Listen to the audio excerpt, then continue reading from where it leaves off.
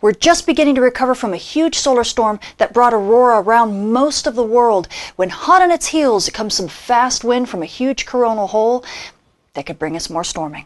Those stories and more in the news this week.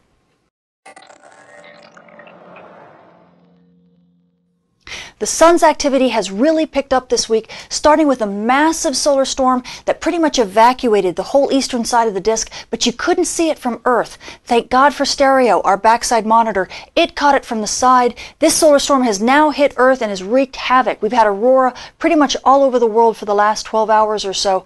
And we're now going to be dealing with some fast wind from this massive coronal hole right here. It's beginning to move into the Earth strike zone. So hot on its heels, we're going to have yet a chance for more storming.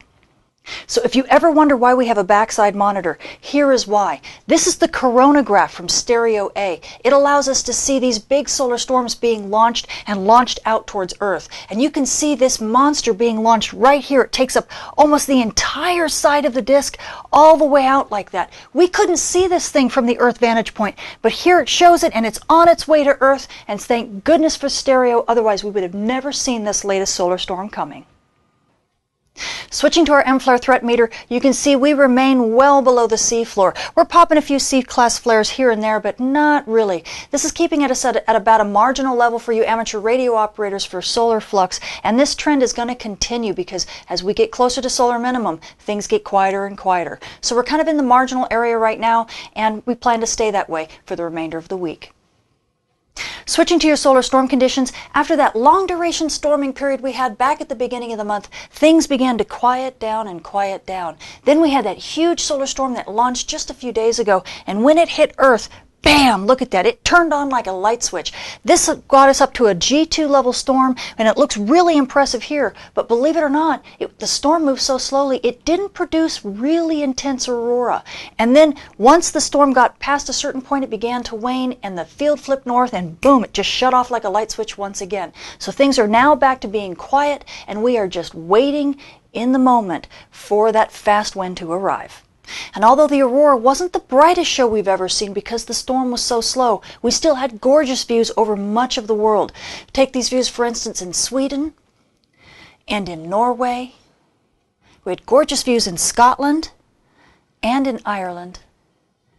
We had them in England and also over Iceland. Moving over to the West Hemisphere, we had it in Alberta, Canada, some stunning shows and also in Ontario. In the United States, New York got one of the most amazing shows in multiple places. And we had gorgeous aurora over Massachusetts, Wisconsin, Michigan, Montana, even Iowa got aurora, and Alaska. So what else does the sun have in store for us this week? Well, this is stereo A. It's our backside monitor. You can see here's Earth, here's the sun, and here's stereo A staring at the sun from behind. And you can see that bright region that's beginning to rotate to the east limb on the backside there. That is kind of popping off a few things here and there. That region is going to be rotating into Earth view here just in the next couple days or so, and we're seeing some activity. So we might see some Earthside activity pick up, you know, next in the next few days or so. And then also you see that huge huge coronal hole. That black hole is what gave us that in long duration storming at the beginning of the month. And that thing now is in the middle of the backside and it's still very well formed. That means that thing's going to be returning to the Earth disk and be in the stri Earth strike zone in about two weeks. So we may still get some more intense storming in about two weeks.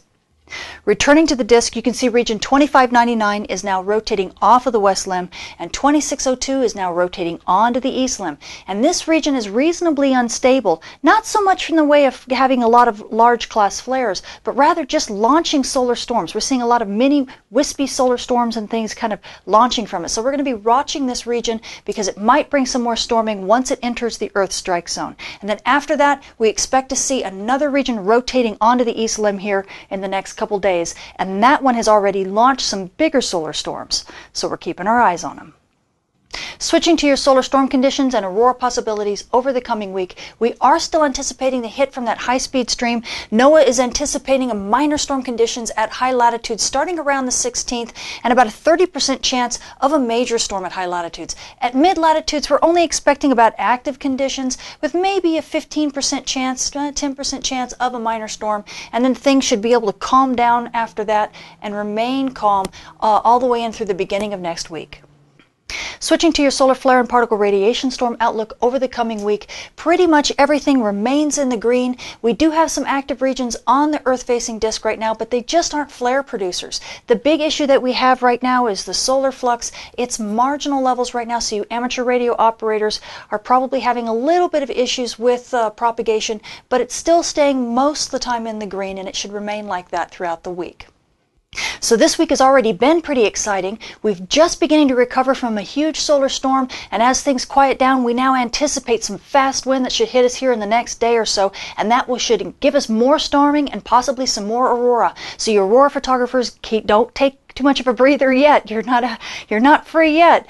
And you amateur radio operators kind of hang in there for the next day or two while we get through this solar storm and then things should begin to quiet back down again until those new regions rotate more into Earth view and we'll see if they have any solar storming that they're going to send us.